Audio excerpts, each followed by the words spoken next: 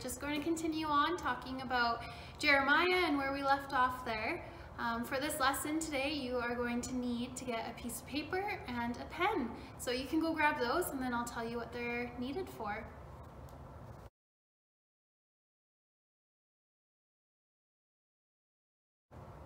So now that you've got your paper and your pen, we are going to be talking about hope today. So on your paper, you can write out the word hope and we're just going to be talking a little bit about what hope actually means. So what do you think hope means? You can turn to someone around you or if you're by yourself, you can talk to yourself and just make a guess on what you think hope, hope might mean.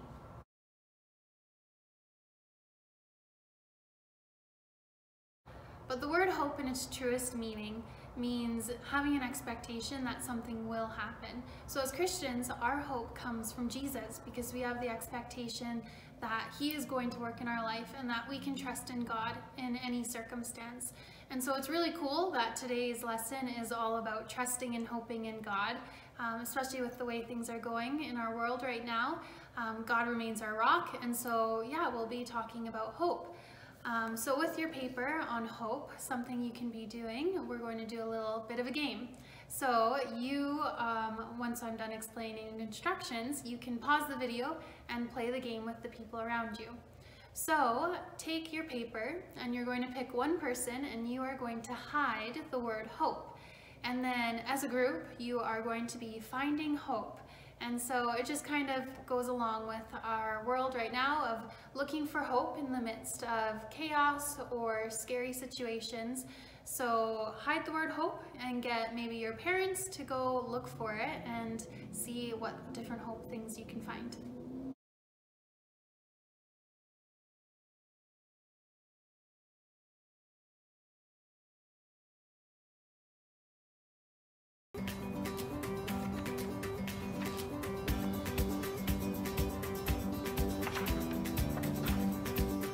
So that was Justine in her office. So I'm gonna go hide Hope. We're gonna play the game too, and she's gonna have to go find Hope, just like how we have to look for it in the real world. So I'm just walking in the gym, and I'm gonna hide it somewhere where I don't think she'll find it. We're gonna see how long it takes her to go. Okay, so I'm gonna put it in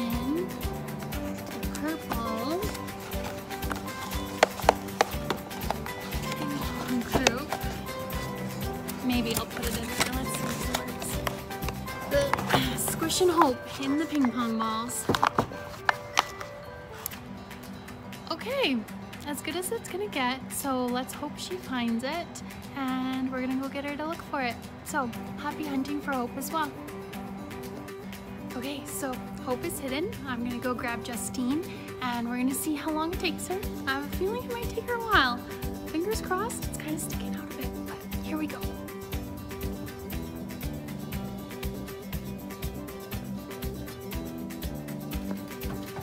Justine, you have to go find Hope. All right. Happy hunting. Do I get any hints? Uh, what do we think? No. okay, I'll give you a hint. It's in the kids zone area.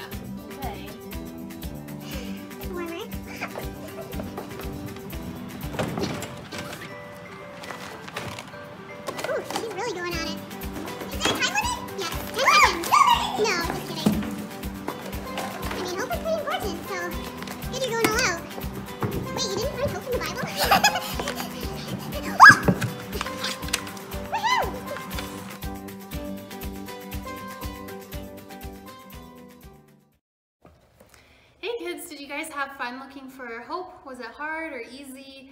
Um, Miss Justine took quite a long time, but don't tell her I said that. Um, so I'm going to read to you a verse, Psalm 33 verse 4. And it says, For the word of the Lord holds true, and we can trust everything he does. And then the other one is Psalm 119, verse 105. And it says, Your word is a lamp to guide my feet and a light for my path. So I want you just to be thinking about some of the things we can learn from those verses. Um, what do you think they mean about how we can trust in God and God being a light to our path? What does that look like for you? You can talk about it with the people around you.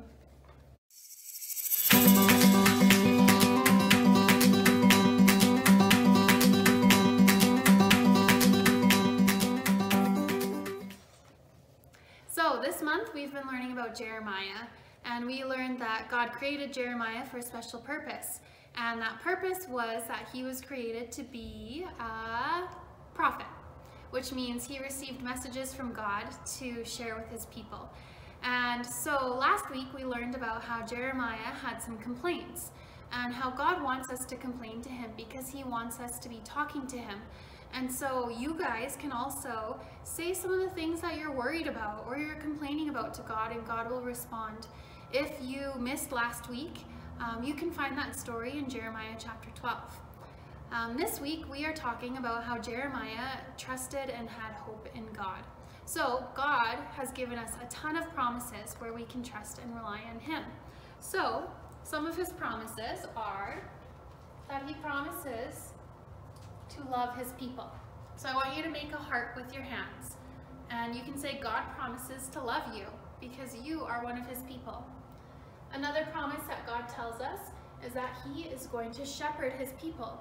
So that means that God is going to guide us, He's going to lead us. Um, the Bible tells us that Jesus is actually called the Good Shepherd and He takes care of us and we can be like sheep, we can just rest and trust that He knows what's best. So uh, I want you to make a shepherd's staff with your arm kind of hooked like that, some, something like that. And then the other promise is that God will strengthen his people. So now's your chance to show off your muscles. So God strengthens us. He gives us the strength we need to keep going. And so in times like this, we can trust that even though we might feel scared or weak, God gives us strength. That is a promise that he made us and he keeps his promises. And another promise that God made is that God promises to redeem his people. And God sent Jesus to redeem us. And so Jesus died on the cross for us. So spread out your arms and you can make a cross. So Jesus came and he died on the cross to take away our sins. That's what it means to redeem. He takes away the punishment that we deserve by living in a sinful world and by doing bad things. God has forgiven us. Um, Jesus died on the cross for us. And so that's a really, really cool promise that we have because we can trust and have hope that because Jesus redeems us, we will have eternal life with him.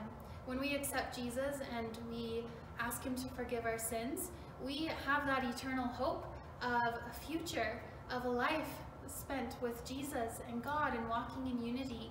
And so these are really cool promises to hold on to this week. So I want you, anytime you feel scared, to remember these things and to talk to God about it.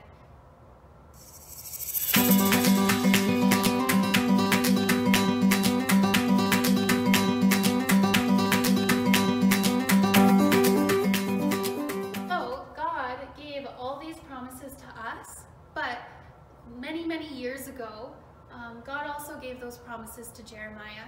Jeremiah's world was falling apart. Jerusalem was in danger of being captured by different nations, and Israel was torn apart by two different sets of kings between Israel and Judah. And so Jeremiah had a lot to worry about, and God knew that Jeremiah was in a scary place in a scary time, and that his own people were turning away from him. So God gave these promises to Jeremiah so that Jeremiah could have hope that he would know that God is in control and that God is looking after him. So Jeremiah was able to see that God loves him, God will strengthen him, and that God shepherds him, and that God had a plan for redemption. And it's pretty cool because we now get to see what that plan was, and we get to see Jesus in that. So, since last week, I think it was St. Patrick's Day, and so what I want you to do right now is to go touch something green. You have 10 seconds. Okay, go.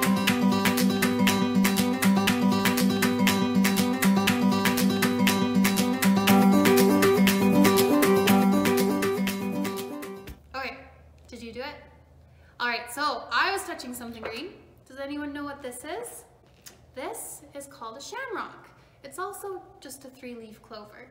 And these are known for being a part of St. Patrick's Day.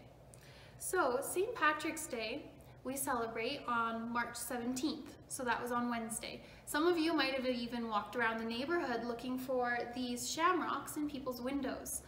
Um, but the purpose of St. Patrick's Day isn't just about wearing green so you don't get pinched. It's actually about remembering a man who was a missionary for many, many years in a country called Ireland. Do any of you know what a missionary is? Do any of you maybe know a missionary? And almost all of you would know uh, Mrs. Laurie. So she's a missionary. She um, was away for a little bit and she's on her way back here actually. So she um, went to somewhere else and she was telling people about Jesus. That's what a missionary does. So St. Patrick, he was a missionary in Ireland who was telling people about Jesus. And March 17th was actually the day that he died. And so we celebrate St. Patrick's Day um, to remember the things that he did. So I'm going to read you a little story about St. Patrick. So once there was a boy named Maewyn who at the age of 16 was kidnapped from his home in Great Britain. The raiders that took him away from his family sold him as a slave to a king in Ireland. His job was to take care of the king's sheep day and night. He felt very lonely. He began to remember some Bible verses that his grandfather had taught him. He prayed that God would save him. He would wake up early to pray and pray late at night. He even prayed in the rain and the snow. One day, Maewyn dreamed that he was going home and that his ship was ready. He knew it was God speaking to him. So he left and walked 200 miles to a boat that was headed to Great Britain. That's a long way. He got there just as the ship was about to sail but the captain would not let him get on.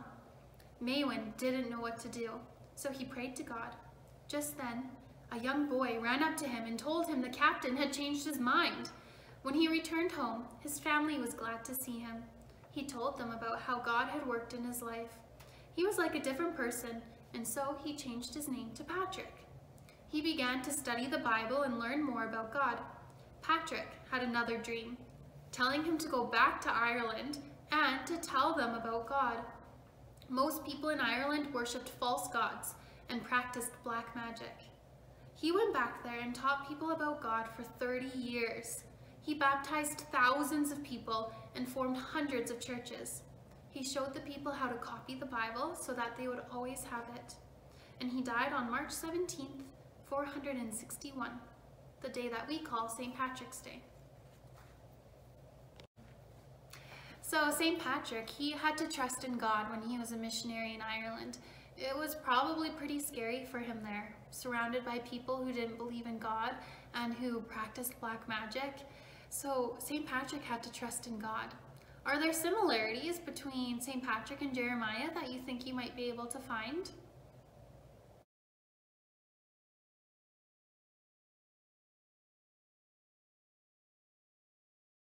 One of the things that I found that I thought was quite similar was the fact that everybody around Jeremiah was worshiping false gods and not following God. Even though they knew God, they were God's people, they weren't following him. And I think that's kind of similar to St. Patrick, how everybody around him was not following God. But some of them didn't even know God, and this was after Jesus. But both St. Patrick and Jeremiah had to trust in God and they both had God's words to keep them strong and to give them strength and to give them hope. And both St. Patrick and Jeremiah spent tons of time praying. Um, and that's something we talked about last week is how we can pray to God no matter what we say, no matter what we do, we can pray to him.